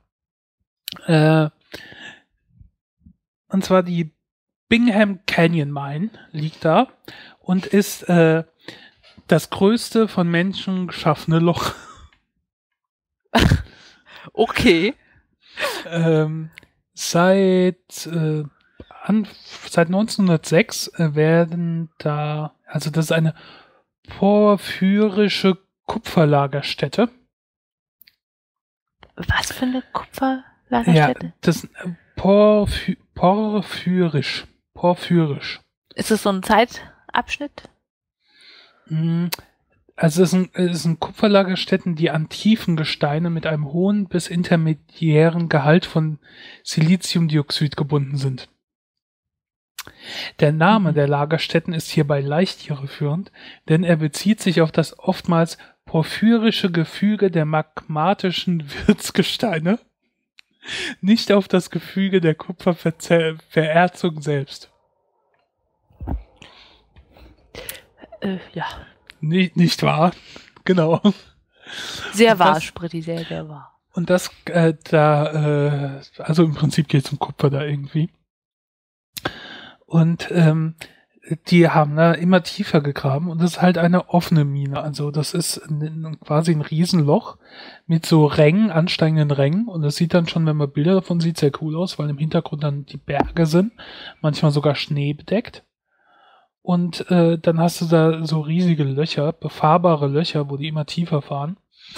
Ähm, und das Loch ist äh, 0,97 Kilometer tief. Also fast ein Kilometer Ah, Fast ein Kilometer. tief. Vier Kilometer Kann man sich breit. gar nicht vorstellen, ehrlich gesagt. Ja, ein Kilometer tief, in die Tiefe. Vier Kilometer breit. 700 deep heute das Thema. 770 äh, Hektar groß. Ähm, ist auch seit den 60er Jahren schon ein National Historical Landmark. Ähm, nicht so überraschend gab es im letzten Jahr zum Beispiel größere ähm, Erdrutsche da. Was, äh, ja, keine Ahnung. Auf jeden Fall sind die da noch weiter aktiv. Und das sieht schon sehr äh, spektakulär aus, gerade wenn man auch Bilder sieht, noch aus den 40er Jahren oder so, wie das dann mittlerweile aussieht. Also, und, ähm, es gibt auch Satellitenbilder von äh, vor dem Erdrutsch, nach dem Erdrutsch und sowas. Das, das Okay. ist schon alles ziemlich unheimlich, wie so terrassenformartig das immer tiefer geht. Ähm, ähnlich beeindruckend ist übrigens die Mir Mine, alias äh, Kim, Kimberly Tovaya Almaznaya Trubka Mir. Du sprichst in Rätsel. Nee, ich spreche Russisch, beziehungsweise ich tue so, als ob. Ja. Ähm, die hat nämlich in der englischen Wikipedia ein sehr, sehr geiles Bild von so einem Loch, das wie so ein Krater einfach runtergeht. Äh, die liegt in ja Jakutia, das ist im asiatischen Teil von Russland, so ziemlich irgendwie in der Mitte, also in Sibirien. Ähm, die ist mittlerweile geschlossen, die wurde 2011 geschlossen. Die ist die zweitgrößte. Die ist immerhin 525 Meter tief, also einen halben Kilometer. Ähm, und 1200 Meter Durchmesser. Ist auf jeden Fall das zweitgrößte äh, Loch von Menschen geschaffenen Loch nach dem Bingham Canyon Mine. Und äh, dort gibt's Diamanten oder da gab's Diamanten, was natürlich spannender ist als Kupfer, finde ich. Aber Ort der Woche musste ich halt die in Salt Lake nehmen, weil äh, er ist halt größer. Okay. Äh, noch eine Sache zu den Telefonaten, die äh, keine sind, sondern immer nur zeitversetzte Aufnahmen. Kotason schreibt, seine kleine Schwester oder ihre äh, kleine Schwester 17 macht das auch für jeden Mist. Und es ist schrecklich. Kann ich nur so bestätigen. Meine ist 16, aber macht das auch für jeden Mist. Ha, Also, wir beobachten, das ist kein Einzel. scheint dann wohl wirklich ein Trend der Jugendlichen zu sein. Obwohl ich mir jetzt gerade denke, das ist doch eigentlich unpraktisch, weil du machst das ja dann auch in der Schule und da müsstest du ja eigentlich eher SMS schreiben, weil du willst ja ruhig sein. Du kannst ja nicht diese Voice-Nachrichten schicken und dann während dem Unterricht geht ständig irgendwie die Voice-Nachricht los. Oder, du, du kannst sie ja dann nicht abhören. Das ist ja eine SMS Nee. doch eigentlich viel praktischer. Also müsste doch so mitten sowas- im Unterricht. Oh, also ich sitze gerade im Bio. Oh, die alte, die Tusse, die Lehrerin, geht gar nicht, was die da labert. Plötzlich steht sie neben dir. Ja, eben. Deswegen müsste ja gerade bei 16-, 17-Jährigen doch irgendwie dann noch SMS praktischer sein, weil man das noch geheim im Unterricht machen kann. Wenn du älter bist und auf Arbeit und vielleicht ein eigenes Büro hast oder sonst irgendwie, dann ist das ja schon nicht so störend, wenn du dann deine Voice-Nachricht hast. Aber naja. Ja. Als ob wir in dem Alter damals logisch gewesen wären. Ich hatte in dem Alter einfach gar kein Handy, so? Äh, ich hatte, es hatte gerade angefangen, glaube ich, so. Ich hatte mit Die Ende ersten, 17 mein erstes Zwangsgeschenk. Ein richtig schrottiges Nokia. Ja, gut, bei mir lag es halt daran, dass es vorher noch keine gab. Ach, du Alter. Da hat es ja wirklich gerade erst angefangen mit den alten Nokia-Knochen noch. Fünf, hm. irgendwas und so. Ich glaube, da war ich so 16, 17, als das angefangen hat, dass sie erst ein Handys hatten. Ja. ja. Was es früher auch noch nicht so viel gab oder nicht so verbreitet, Ebola. Man hört es ja jetzt aktuell immer wieder in den Nachrichten, Westafrika, Ausbruch, weiß ich nicht, 27. Juli, 909 Infektionen gemeldet, 485 Tote bekannt. Also ich finde, das ist ganz schön krass. Am Anfang war es so, ja, ein bisschen kriegen sie schon unter Kontrolle, aber so langsam macht es mir ehrlich gesagt ein bisschen Angst. Vor allem, weil die tödlich verlaufenden Fälle ja so viele sind prozentual. Also Wikipedia sagt, 50 bis 90 Prozent der Infizierten sterben daran. Was haben wir hier? Bei Spektrum steht 56 Prozent der Fälle verlaufen tödlich. Das ist ja trotzdem immer noch ziemlich viel, wenn man mal so überlegt. Äh, ja. Also ich habe den Artikel ja nur überflogen, der, der im Spektrum war, aber der hat das ja alles so ein bisschen relativiert, dass man nicht so totale Panik schieben soll. Ähm, als Disclaimer vorneweg, wir haben keine Ahnung, von was wir reden, aber das wisst ihr ja im Prinzip schon eh. Also wir sind keine Experten, was das angeht, aber ähm, ich, ich bin mir noch unsicher. Ich glaube, da wird etwas viel Panik wahrscheinlich gemacht. Ich habe das gerade so mitverfolgt in Daily Show und sowas, wo gerade in US-Medien unheimlich Panik geschoben wurde. Äh, wo es gerade mal einen Fall in den USA gab. Also so wie ich das gelesen habe, ist das Risiko jetzt wohl erstmal hauptsächlich groß für äh, die Nachbarländer in Afrika. Aber ähm, dass die meisten Nationen das eigentlich handeln könnten, diese Exportwelle, dass das sich nicht so verteilt. Äh. Ja, also ich denke auch nicht, dass wir jetzt absolut Panik schieben müssen und es werden sofort alle sterben. Das ist natürlich Quatsch. Aber trotzdem, weiß ich nicht, es macht mir mehr Angst als meinetwegen HIV.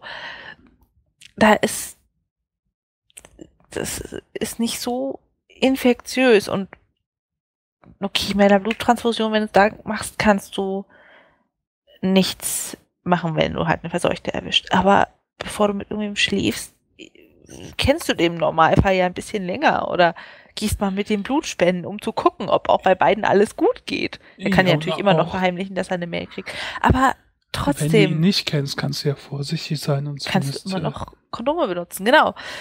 Und ich weiß nicht, also da habe ich nicht so, so eine Angst, dass wenn da jemand rumläuft und das hat, das bekommt.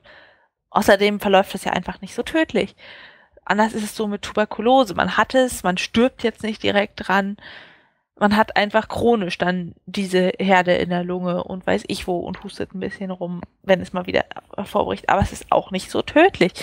Und bei Ebola, dann heißt es immer zwei bis 21 Tage Inkubationszeit, dann starkes Fieber, Nierenversagen, Leberversagen, Ödeme, naja, nach Leberversagen und Nierenversagen Versagen und Albumin, also Eiweißverlust, kein Wunder. Dann Einblutungen überall im Körper, blutiger Stuhl, blutiger Urin, Blutverlust, Kreislaufversagen. Also das macht mir viel mehr Angst, weil es viel fulminanter läuft. Und weil es einfach ansteckender ist. Hier auf Spektrum steht, äh, Ansteckung läuft über kontaminierte Körperflüssigkeiten wie Blut, Urin, Speichel, Sperma, Stuhl oder Gegenstände, die mit diesen Flüssigkeiten kontaminiert sind. Also Schmierinfektion. Das genau. Und das muss dann auf die Schleimhäute oder Stellen verletzter Haut. Das heißt ja, wenn mir jemand damit in die Augen spuckt, bricht, blutet, keine Ahnung, reicht das ja schon. Kommt natürlich darauf an, wie groß die Viruslast sein muss, dass es klappt. Das ist ja auch unterschiedlich. Aber das macht mir schon ein bisschen Angst, ehrlich gesagt. Der, bei dem Film- und Serien-Nerd in mir geht dann natürlich auch so ein bisschen die Fantasie durch, dass ich mir denke, irgendwann muss das ja mal passieren, dass irgendein Virus kommt, der die ganze Menschheit dahin rafft oder den Großteil. Äh, wie in diesen Zombie-Filmen wie 23 Days Later oder 20 Weeks Later, keine Ahnung mehr, wie das hieß, wo es ja auch ein mhm. Virus gab und deswegen auf einmal die Menschen was hatten. Oder äh, jetzt gerade eine Fernsehserie, The Last Ship, wo ähm, ein Schiff in der ein Schiff der US Navy in der, Arktis, in der Arktis ist äh, für ein paar Wochen äh, keine Funkkontakt hat, also absichtlich, weil sie Manöver durchführen. Auf einmal kommen sie zurück und auf die ganze Welt ist äh, zum Großteil ausgestorben, weil ein Virus äh, um sich greift. Und sie sind dann dementsprechend das letzte Schiff, was übrigens auch nicht stimmt. Spoiler, Spoiler. Ähm, ja, und da denke ich mir, weil bei so Serien und Filmen, die ich gesehen habe, denke ich mir, ja klar, irgendwann muss das doch kommen, dass irgend so ein Virus kommt, der sich umgreift, der nicht unter Kontrolle zu bringen ist, sich ausbreitet und es geht ruckzuck. Oder wie heißt dieses ähm, iOS-Spiel? Pandemic. Genau. Wo man selbst die ganze Welt dahin raffen kann. Ja, so, so ist es gefühlt. Der Staat haben wir jetzt halt Westafrika genommen und dann mal gucken, wie schnell wir es wohin schiffen. Ja. Mi, mi, mi, mi. Aber in Wirklichkeit sieht es ja anders aus. Also das Problem scheint ja unter anderem zu sein, also äh, da wo es jetzt ausgebrochen ist, in Guinea, Sierra Leone, Li Liberia und so, ähm, dass das öffentliche Gesundheitssystem alles nicht so greift, wie es greifen könnte. Das heißt, im Prinzip ähm, müsste man die alle Infizierten identifizieren, isolieren und dann gucken, mit wem die in Kontakt waren und genau. diese für 21 Tage, solange ist nämlich die Inkubationszeit, ähm, in Quarantäne tun und dann sieht man, nach 21 Tagen ist was passiert oder ist nichts passiert. Dementsprechend können sie dann wieder gehen oder sie sind halt infiziert. Und ähm, gewisse Sicherheitsvorkehrungen zur Infektionskontrolle und sowas. Aber ähm, Ähm, es geht einfach nicht, weil die Einheimischen machen nicht mit. Ja, oh. weil das da nicht so ausgebaut ist und so weiter. Also die Gesundheitsbehörden da nicht so, nicht so, es nicht so funktioniert. Die und wer da halt noch unterwegs ist, Ärzte ohne Grenzen und Rotes Kreuz, was weiß ich, die werden dem da halt nicht so ganz her und äh, das, das ist vermutlich das Problem und weswegen das auch in den Nachbarregionen dann da äh, weitergeht. Ähm,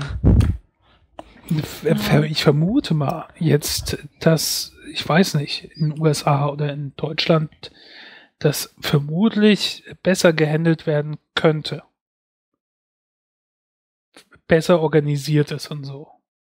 Weil das ja auch noch dazu kommt, wenn ich das richtig gelesen habe, dass du noch niemand äh, infizieren kannst, solange bei dir noch keine Symptome äh, sich zeigen. Also dann kannst du leichter die Kontakte nachverfolgen von denjenigen, der infiziert ist. Äh, das Pro Was ist denn nun? Ein Störsignal? Der Sender ist im Eimer, fürchte ich. Wie ist das möglich? Apparate von Menschen für Menschen gemacht, Robin. Niemand ist unfehlbar. Eine Lektion, die wir hinnehmen müssen. Äh, ich habe die ganze Zeit schön weitererzählt. Ich auch erstmal. Äh. Einmal mit Profis, bitte sehr. ja, irgendwie war das ganz merkwürdig. Ich hatte kein Internet für, für äh, eine Weile. Keine Ahnung warum. Ich habe schön weiter erzählt. Hat es der Live-Hörer gehört?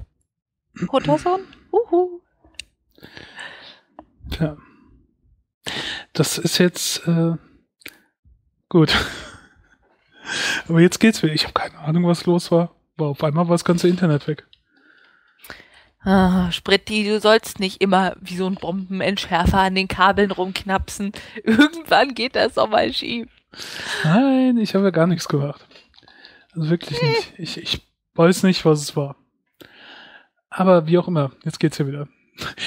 Das Blöde war erst so, hm, was soll ich jetzt machen? Wie soll ich mit dir in Kontakt treten? Und dann habe ich erst so gedacht, okay, Facebook, ach nee, geht ja nicht, ich habe kein Internet. Das, nee, geht ja nicht, ich habe kein Internet. Und so. Schrei, schick mir ein paar Rauchzeichen. Ich hätte ja ein Jo schicken können, aber habe ich gedacht, das ist ja auch nicht sehr aussagekräftig. Das heißt, ich lebe noch. Ja. Naja, ähm, jetzt bin ich ja. wieder da, jetzt sind wir ein bisschen raus mit dem Ebola. Also auf jeden Fall mein Punkt war, glaube ich, so ein bisschen, dass ich denke, dass das hier bei uns jetzt wahrscheinlich anders laufen würde und die da, dieses Notfallteam da im Moment einfach ein bisschen überfordert ist. Dazu kommt natürlich, dass das ja auch immerhin der größte je aufgezeichnete Ausbruch momentan ist. Ah. Ähm, ich, ich weiß es auch nicht, also Also ich habe hab jetzt gesagt, keine Panik, ich habe keine Angst, also dass ich denke, das kommt jetzt hierher. Aber hm, also ich weiß nicht. Es kann schon passieren, denke ich. Allein schon mit dem Flugverkehr, das hat uns ja Pandemik beigebracht, geht es ziemlich schnell. Ja. Aber ich denke, hier würde die Bevölkerung einfach zusammenarbeiten mit den ja, medizinischen Versorgungseinheiten. Das heißt nicht die Erkrankten verstecken, ja. sondern sie auch isolieren lassen. Wobei jetzt das Problem ja sein könnte, dass wir nicht genug Isolierstationen haben. Also auf der Wikipedia stand, stand irgendwie, in Hamburg gibt's eine Station, an der Charité gibt's eine Station in Berlin, aber sonst nicht so viele. Es ist in ja, Deutschland ich, jetzt. Auch nicht, dass da unten die Leute nicht mit zusammenarbeiten wollten. Ich unterstelle da auch ein bisschen, das ist das mangelnde Bildungssystem. Hm. Was, äh, wo die ja auch nicht zwangsläufig was für können. Äh, das, deswegen, so gewisse grundsätzliche Sachen, die wir uns halt bei, bei uns normal sind, dass sie, keine Ahnung, ja, wo, was wir einfach als Allgemeinwissen haben, da halt noch nicht so bekannt ist. Und das vermutlich auch so ein bisschen dazu beiträgt. Aber. Ich weiß es nicht. Also ich hoffe, man kann es irgendwie eindämmen. Es gibt ja auch schon jetzt Versuche, Medikamente gegen Ebola zu entwickeln. Die Impfung, bis dahin wird es noch lange sein. Aber es gibt ja Medikamente, die offiziell noch nicht zugelassen sind, aber trotzdem angewendet werden, weil man weiß sich einfach nicht anders zu helfen. Bis jetzt wird die Infektion einfach symptomatisch behandelt. Das heißt, wenn derjenige viel Flüssigkeit verliert durch die ganze Einblutung, bekommt er halt entweder eine Kochsalzlösung oder eine Bluttransfusion. Das bekämpft aber letztendlich ja nicht die Ursache, sondern macht es nur aktuell, also das heißt symptomatisch ein bisschen besser. Und da hoffe ich, tut sich noch irgendwas. Ich denke auch jetzt, wo es so akut aufgetreten ist, wird auch besonders intensiv daran geforscht, eine Lösung dafür zu finden. Um die Panik halt jetzt auch nicht so weit zu schüren. Und da finde ich so Sachen immer ganz gut, ist halt ähm, auch aus dem Spektrum-Artikel. Also die Krankheit gibt's äh, das erste Mal äh, aufgeführt wurde die 1976. Hm. Was, sagen wir mal, knapp 40 Jahre jetzt her ist. Es gab seit in diesen 40 Jahren 19 Ausbrüche von Ebola mit mehr als 10 Opfern. Also quasi nichts. Ja. Insgesamt sind bis jetzt rund 2000 Menschen daran gestorben. Oh. Es ist halt ähm, halt eigentlich davon keine... jetzt allein 485 jetzt bei diesem jetzigen Ausbruch. Mhm. Und ähm, wenn man dann sieht, dass Malaria am Tag 3200 Menschen tötet, Durchfallerkrankungen um die 4000. Das ist so schlimm, dass Durchfallerkrankungen noch eine Todesursache sind. Ja. Spricht einfach für total schlechte Versorgung hygienisch, schlechte Wasserversorgung, ja. Ernährungsstandards. Ja. Schlangen und andere giftige Tiere fordern jährlich rund 55.000 Menschenleben. Das sind 27 mal mehr, als insgesamt in allen 38 Jahren durch Ebola gestorben sind. Ja, Ebola ist ja auch anders als zum Beispiel Malaria keine Krankheit, die darauf ausgerichtet ist, den Menschen zu infizieren. Deshalb verläuft es ja auch so tödlich. Der Mensch ist eigentlich nicht der Wirt für Ebola sondern ja. es ist, keine Ahnung, man weiß es gar nicht so genau, oder? Es sind mal wieder im Gespräch die Fledermäuse, irgendwelche Primaten. Ja. ja. Also, auf jeden Fall will ich halt sagen, wartet noch ein bisschen mit dem Panik schieben. Ja, Panik hilft eh nicht. Aber trotzdem ja. macht es mir ein bisschen Angst, einfach weil man der Krankheit so hilflos gegenübersteht. Weil man nur symptomatisch behandeln kann, noch keine wirklichen Wirkstoffe hat, die genau gegen dieses Virus gerichtet sind. Meinst ich kenne mich ja nicht so aus. Ich weiß, es dauert immer eine Weile, bis sowas entwickelt werden kann. Aber könnte es halt auch sein, dass äh, es noch nicht so weit ist oder nicht so großartig unterstützt wird, weil das Ganze sehr gering ist und vor allen Dingen unsere westliche Welt nicht so bedroht. Ich meine, wenn Ebola was ist, ist das ja im Prinzip in Afrika. Das kann schon sein, aber ich und glaube, jetzt angesichts der Situation, wo man das nicht mehr wirklich unter Kontrolle hat, zumindest empfinde ich es als etwas, was man nicht mehr unter Kontrolle hat, hat man doch schon mehr, weiß ich nicht, Antrieb, mehr Motivation, doch irgendwie was zu forschen, bevor es dann hier ist und man nicht mehr so viel Zeit hat. Ja. Naja. Hm. Also keine Panik, aber trotzdem irgendwie ein bisschen aufpassen schon. Aber was, was, was willst du denn machen? Wenn du es hast, dann hast du es, dann kannst du nur noch aufpassen, dass du keine anderen infizierst. So. Am Arsch. Testament machen. Gefühlt ist es so. Ja. Ja. Ich weiß. Also das ist wirklich, ich habe da nicht so Panik, aber ich hatte auch keine Ahnung, äh, keine Panik vor der. Was ging hier so vor einer Weile durch, wo Unmengen an Impfstoff gehortet wurden? Schweinegrippe. Oder Schweinegrippe. Hallo, ich hatte Schweinegrippe. Ja, Echt? Es, es war nicht schlimm. ja, ich, es war noch ganz am Anfang, als sie das nachgewiesen haben. Später haben sie gesagt, ja, pff, es lohnt sich jetzt nicht mehr. Ich glaube, ich war eine Woche völlig platt, lag im Bett angesteckt von meiner Schwester. Schönen Dank. Nicht via Sprachnachricht, sondern wir live. äh, ja, lag im Bett, richtig schlecht gefühlt, hohes Fieber, keinen Appetit, die ganze Zeit geschlafen. Aber ansonsten alles gut. Es war, also mein, das, was bleibt für mich von der Schweinegrippe, ist eher so, Tamiflu ist nicht der beste Wirkstoff, weil er äh, zieht die Heilung nur um weiß ich nicht, oder die Verbesserung der Symptome nur ein paar Stunden vor, also nicht wirklich signifikant und hat total viele Nebenwirkungen. Das war irgendwie so mein Fazit aus der Schweinegrippe. Ja. Ja, ja, auf jeden Fall weiß ich noch, dass er massenhaft dieses Tamiflu und Impfzeug und sowas gekauft wurde ja, und gebunkert ja. wurde vom Staat. Ich habe auch kein Tamiflu genommen. Ich glaube, ich habe gar nichts genommen antiviral, sondern nur symptomatisch behandelt. Ja. Da diese Panik habe ich halt auch schon nicht so verstanden. Ja, aber das ist ja auch nichts, was so tödlich verläuft. Da sollen sie einmal ihre Kinder wegen der Masern impfen, finde ich. Das ist einfach ein viel breiteres Problem als jetzt die Schweinegrippe. Äh, ja. Aber das ist ja ein anderes Thema, weil es kann ja als Spätfolge eine Enzephalitis, das heißt eine Entzündung.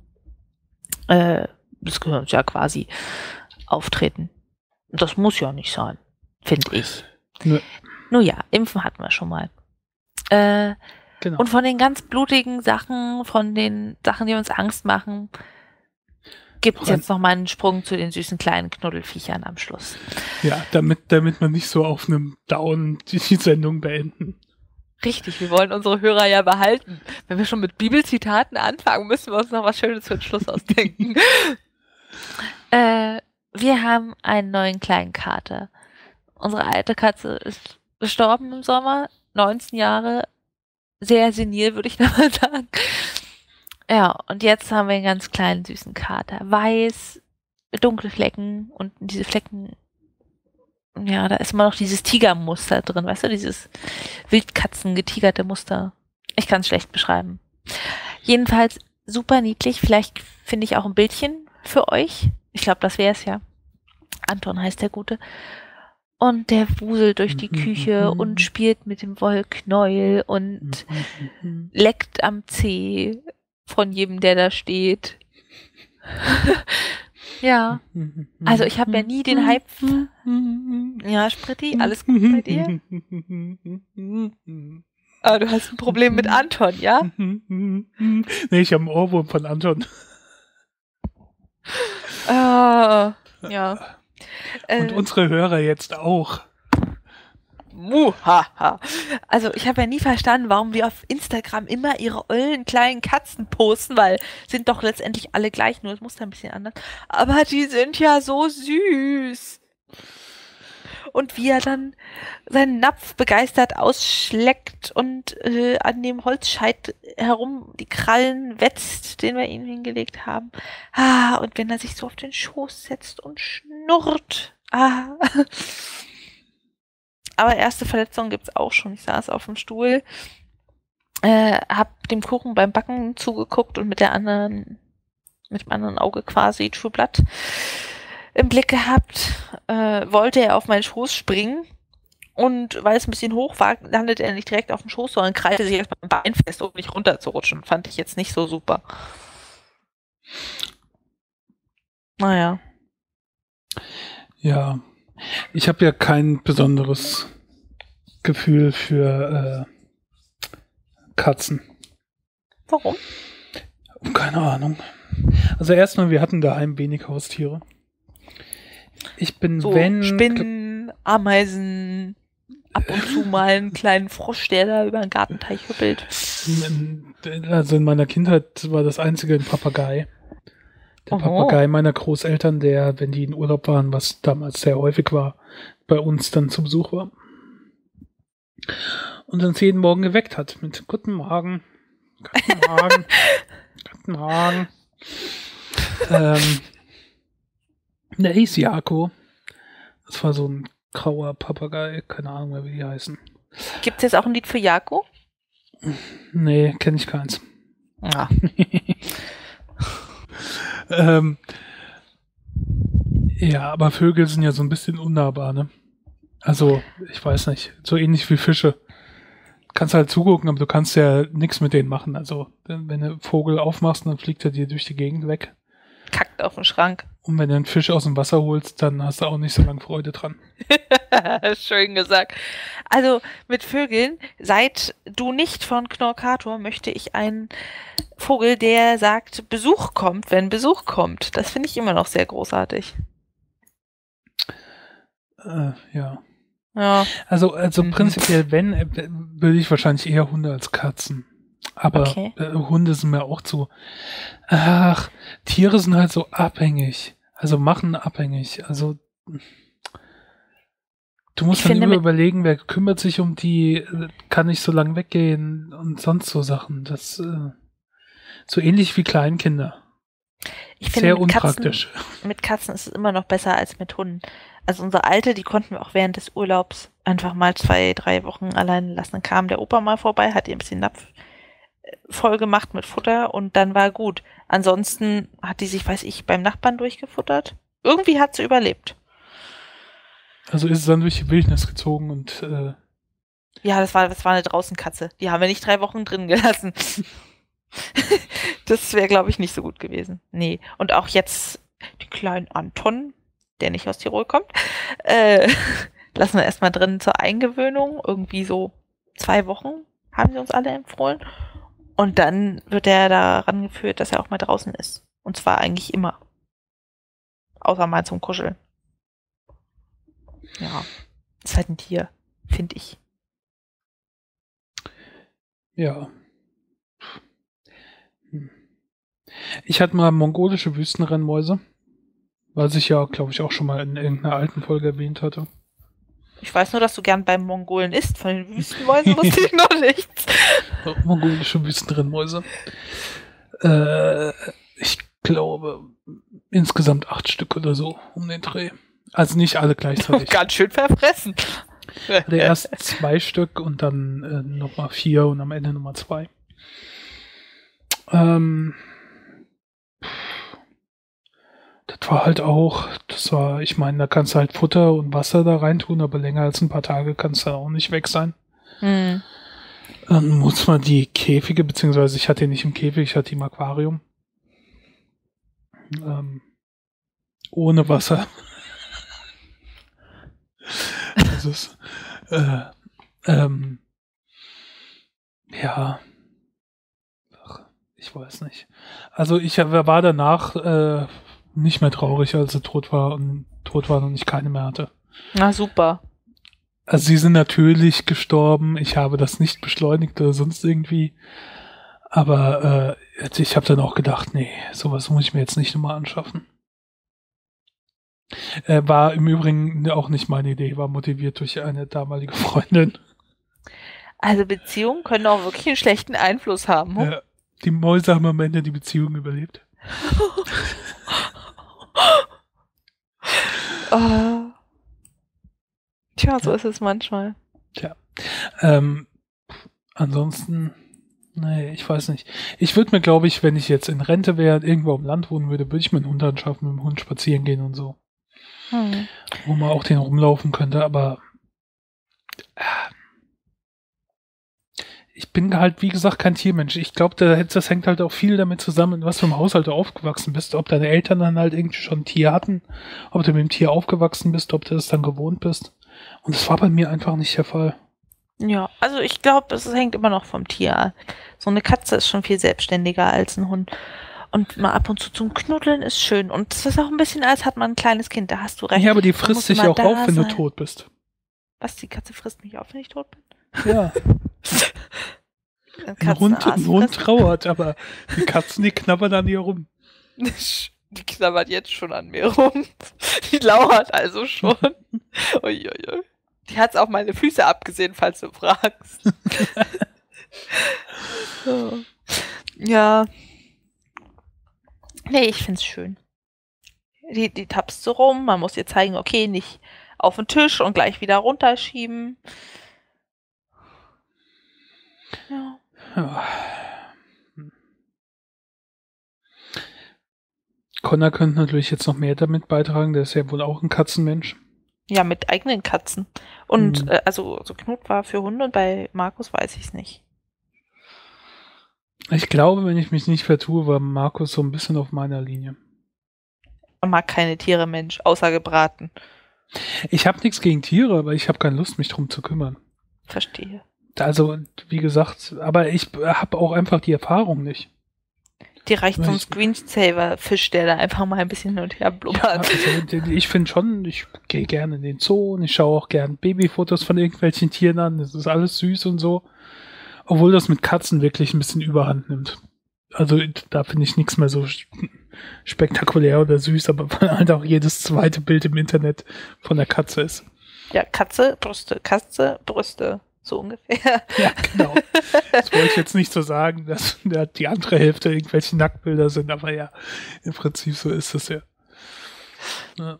Na gut. Ja. Aber ich werde nachreichen Bilder von dem kleinen, süßen Anton Fratzi. Was ich gerne gehabt hätte früher, was cool gewesen wäre, wären ähm, Flugeichhörnchen. Was? Ich glaube, Süd aus Südamerika kommen die ursprünglich. Das sind so Art Eichhörnchen, aber die haben so Art Flughäute, also zwischen ihrem ah, Vorderärmchen ah, ja. und den Hinterärmchen. Und dann können die, wenn die in den Bäumen sind, runterspringen und breiten ihre Arme aus und segeln dann so ein bisschen zu Boden. Ja. Ja. Das hätte ich cool gefunden. Da hätte ich auch dafür gesorgt, irgendwo zu wohnen, wo ich so ein wie heißt das, Atrium oder irgend sowas gehabt hätte, wo die dann runterfliegen können. Willkommen in unserem Haus. Hier gibt so einen Pfiff und die Eichhörnchengarde springt von oben vom Geländer und segelt dir zu Füßen. Ja, genau. Ach, das ist auch eigentlich ein schöner Gedanke. Ich finde, das ist super als Ausklang der Sendung. Ja, finde ich auch. Diese etwas störanfällige Sendung. Es kann nur besser werden. Ja, indem wir jetzt aufhören. Kannst doch nicht gleich die Pointe verraten. Ach, aber es, wir haben es ja hinbekommen. Mit allen Hindernissen. Es hat funktioniert. Hast du aufgenommen? Ja. das ist immer eine sehr wichtige Frage. Mit jetzt nur später etwas Arbeit, weil ich zusammenschneiden muss. Viel Spaß. Danke. Ähm, wie gesagt, gebt uns Feedback äh, zu Autofahren zum Beispiel oder zu euren Haustieren, wie ihr dazu steht. Äh, und äh, recherchiert bitte für uns was mit den Sprachaufnahmen, ob eure kleinen Geschwister das alle machen. Oh ja. Und danke an Kota Sohn, es ist übrigens ein R, für das Live-Zuhören und das Zuhören, als Spritti nicht da war. Alle anderen werden nie erfahren, was passiert ist. Na gut, wir haben hier noch mehr Live-Hörer, aber es war zumindest der Einzige, der auch im Chat war. Ja, okay. Der Einzige, den ich benennen kann. Ihr wisst es, alle anderen werden es nie erfahren. Ja. Ist auch jetzt so ungewohnt, dass wir so am Anfang der Woche sind.